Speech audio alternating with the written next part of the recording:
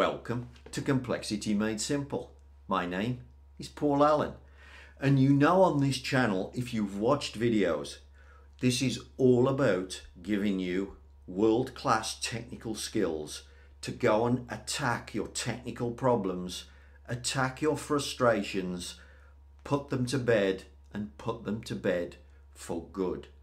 And as a step forward on that journey, I'm pleased to announce the latest reference book in our series. This is the Six Sigma Yellow Belt Handbook. If you're just starting out and you're just getting involved in solving your technical problems and removing your frustrations, this book is full of practical advice on how to use simple quality tools, how to run measurement system analysis, gauge R&R, in a practical way so that you understand what the results are telling you, you understand your process physics, and you understand how to put your problems to bed for good. If you're starting out on the journey of Six Sigma, this is 180 pages of fantastic practical advice that you're going to find absolutely um, absolutely indispensable in your work. The link to lulu.com where you can buy this text is in the description below. Go and click on the link and buy your copy of the Six Sigma Yellow Belt Handbook now. Welcome to Complexity Made Simple. My name is Paul Allen and the subject of today's video, well we're going to take a look at a case study that I've been sent by a colleague of mine who asked me some questions about a designed experiment that they looked at which was done by Nissan a few years ago. So we're going to take a look at this case study. So it's the Nissan. I'm going to call it the logo case study. They are sticking a logo on the back of a car. And they're doing a designed experiment to try and make sure that the design of the logo works well. The design of the process, isn't just the design of the logo. The design of the process works so that the logo actually adheres to the back of the car. So I was actually sent me this with a few questions what DOE was it and things like that, which I, I did answer. But let's have a look. My view of the DOE is that actually it was a wasted opportunity. It was a wasted opportunity to learn so much more and make so much more money uh, when you're going to do an experiment. The other thing I would say is I considered the analysis quite old fashioned.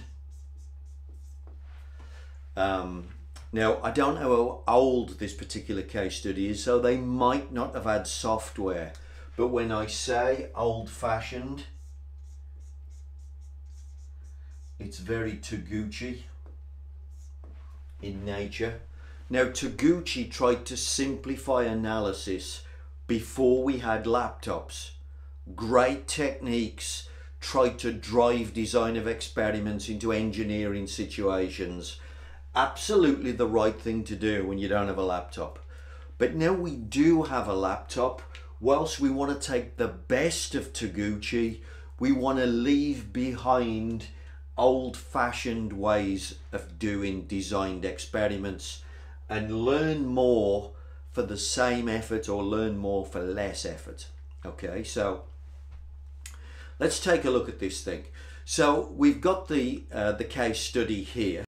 So as you can see, we're applying the Nissan badge on the, the back of a um, the back of a car uh, on the rear of this uh, estate car um, they've identified some variables. Now, on the list there, we actually have seven variables, but they decide to highlight the top four only as the variables that they're going to test. Now I have no idea whether they screened that seven down to four or they just used their engineering skill and selected four. But four is what they're going to choose. Now the first thing I want to talk about is the four variables because the bottom two, the thickness of the styrene and the thickness of the logo, thick and thin. Those two thicknesses they've identified thick versus thin.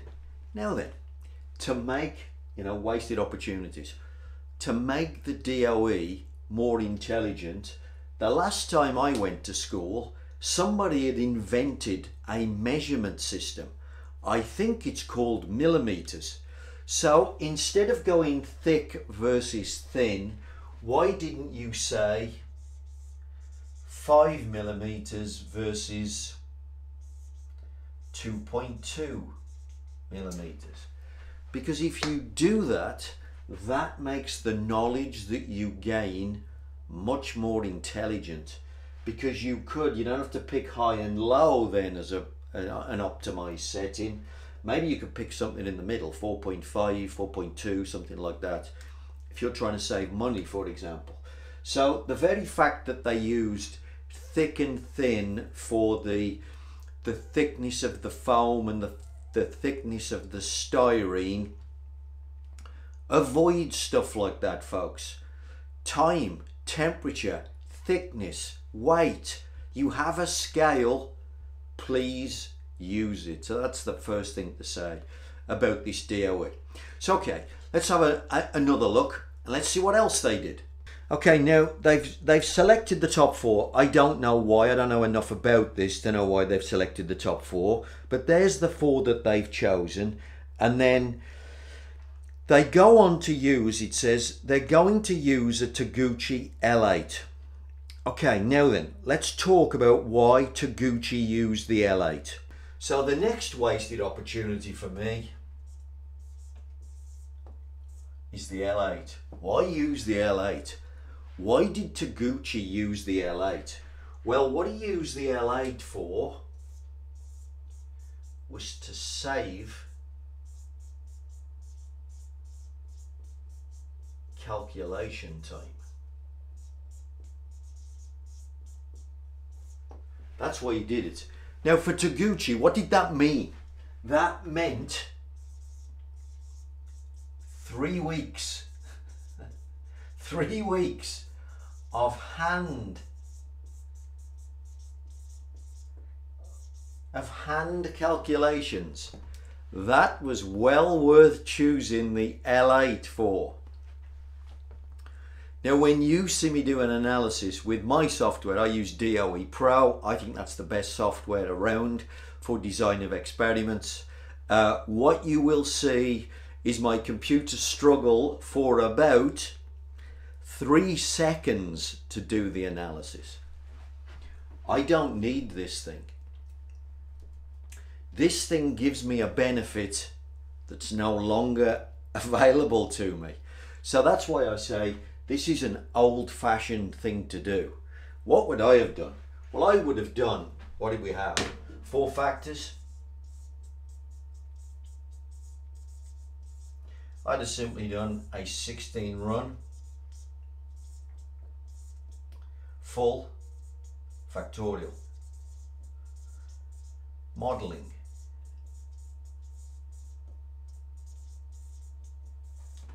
modeling DOE. Um, what's that going to cost me? Well, it's 16 runs. They've done an L8, which is obviously only eight tests. Um, I'm going to do 16 tests.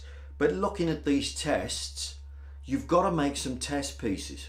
I can't imagine they made one test piece of each type in terms of size and the type of glue and things like that. Um, so making 16 tests, 16 setups, not even difficult, might take you an extra 30 minutes to get the data. So we're not going to save three weeks. We are going to waste 30 minutes of, of extra time maybe to collect the extra data. But then I have a full modeling DOE. Okay, so, and by the way, I expect some of these variables to interact. So you've got the size of the logo, you've got the type of glue, you've got the pressure that you apply. You know, if you think logically about the physics in this DOE, there's interactions there. I don't want to miss those two-way interactions. I can't see the two-way interactions in this damn thing up here. So I'm losing knowledge. I'm not gaining anything. You know, th this is an old-fashioned way of doing it because the benefit of doing it has gone with the, the, the, the element of the laptop. Okay, so so wasted opportunity, old-fashioned way of doing it, um, no benefit. Could have done a different, could have done a different DOE. Um, then when they came to do the analysis, again they used what I would consider to be a very simple Taguchi method. Again, why? Because they're trying to save hand calcs. But with a computer, we don't need that. So let's take a look at the analysis that they've done. So here's the data. They've only done one replicate per test, which is also an issue for me. And we'll cover that off in a second. Um, but they've done the analysis and it's just graphical. The factor effect plot, I would call these plots marginal means plots. Uh, there's a few names for them but they've just used the graphs and then what they've done is they said we want glue strength to be the highest so they've done a very simple thing and they just pick the top settings for each one so that's their very simple analysis now look that don't get me wrong that works it's a simple way of doing it and if you want to do it quick and you want to save some knowledge and calculation time I suppose that, that's a way of doing it. But the point I would make is this. Those variables cost money. What are they? It's the, it's the area. It's the, let me just see again, it's the type of glue. It's the, um, what was the other two? Uh, the, uh, the foam thickness. I think it was the logo thickness. Okay, so now think about these. Every single one of these has money attached to them. Wasted opportunity. What they've done is they've done the simplest possible analysis. But if you look back at the graph, three of the variables do very little. These three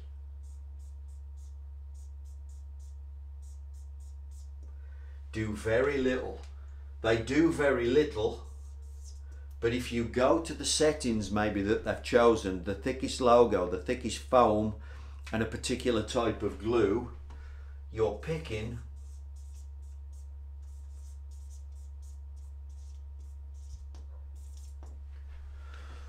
most cost. Why would you want to do that if these variables don't actually do anything? Now, had they spent a little bit of time not doing the old fashioned analysis with just graphs only, if they'd done the regression analysis and looked at the p-values, well, I've done that in my software and look what I get when I look at the p-values. These three aren't statistically significant. What can I do? Instead of using these to optimize the glue strength, what am I going to do? I'm going to use them to minimize the cost. That's why I said it was a wasted opportunity because this DOE did very limited things. It generated very limited knowledge. Don't get me wrong, did it solve the problem? Yes. But doing a DOE isn't necessarily about solving your problem. What is it about? it's about process knowledge. And the DOE I would have preferred to run, the 4 factor 16 run full factorial modeling DOE with repeats by the way. I would have repeated each test twice. So yes, I would have generated 32 data points instead of 8 data points. But looking at that DOE, I don't think that would have taken too much effort at all. And then what would we have done? We would have optimized the glue strength, minimized the cost, and saved a bucket load of cash. That's what we would have done. So, you know, I mean, don't get me wrong. These these case studies that you know every day's a school day. Somebody sends you this thing. What's it telling me? What DOE did they use? I use a certain types of DOE. Other people use different techniques. That's okay. It helps you when you analyze their technique against your technique. It helps you to understand the limitations and the strengths of what you do and the limitations and strengths of what they did. What they did was save calculation time. But unfortunately, with a laptop, that's no longer a benefit. So although it's a great study and thanks to Nissan for, for making that available to us, it's quite an old study. Looking at the picture of the car, it looks like a Nissan from about 20 years ago. So it is an old study. Therefore, it's a bit old fashioned. With software, personally, you would use different techniques today. Back in the day, by the way, would I have used the L8? Yeah, all day long. I'm not criticizing the L8 at all. It's just that the reason that we used it to save engineering calculation time is no longer a valid benefit or it's a tiny benefit and therefore the L8 is a DOE I would never ever touch. Its benefits have gone. They're old fashioned. Let's use the modern ways of doing it. Let's think about what process knowledge we want from a DOE. Let's make sure we get all the knowledge in the minimum amount of effort. Remember, in a DOE, I am always going to drive you to generate 40 pieces of data. And then the question is, how do I get the most process knowledge from my 40 pieces of data? Design your DOE right, get the right knowledge, and make parts and parts of cash.